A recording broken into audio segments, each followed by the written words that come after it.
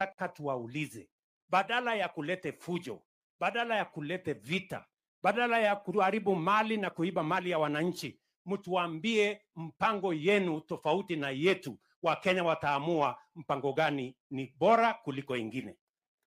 It is obvious that we cannot replace our democracy and the transformation and the plan we have today. We cannot replace it with mayhem, with anarchy, with destruction of property. It is not possible. We are intelligent people in Kenya and we know what we want. And I have said, those who are sponsoring, those who are marketing, those who are orchestrating this violence, they cannot continue to be faithless. They cannot continue to be nameless. They cannot continue to be formless. They cannot continue to be anonymous.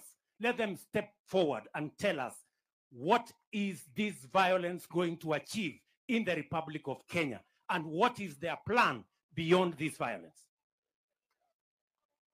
Si namna hiyo? Yes. Wasituambie tu wanapanga maandamano ya fujo. Watuambie hii fujo, maandamano ya fujo, maafa ambayo inaendelea, ile uharibifu ya mali, ile mali watu wanachomewa, hiyo mpango yote itafika wapi na itasaidia nini na itasaidia nani? Na ndio nimesema going forward we will protect the nation.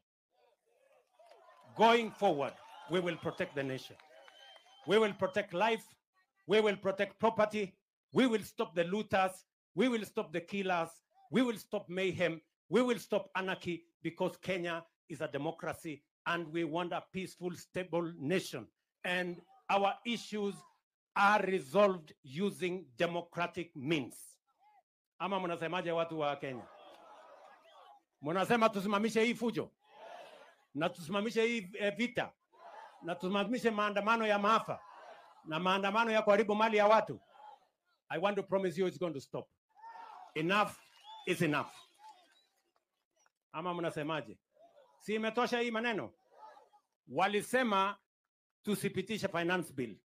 Mimi nimewacha finance bill.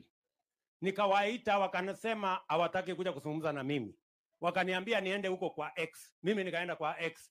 Wakatoroka huko hawakukweko. Wakaniambia tuitishe mazungumzo. Nimeitisha mazungumzo, wamekataa. Nimewaambia wanaendelea kusema wao ni faceless, wao ni formless, sijui wako nini. Mimi nimewaambia sasa, my friends, you know, I have given a chance to everybody to say whatever they want. You know, it cannot continue like this. The country is much more important than any group of people.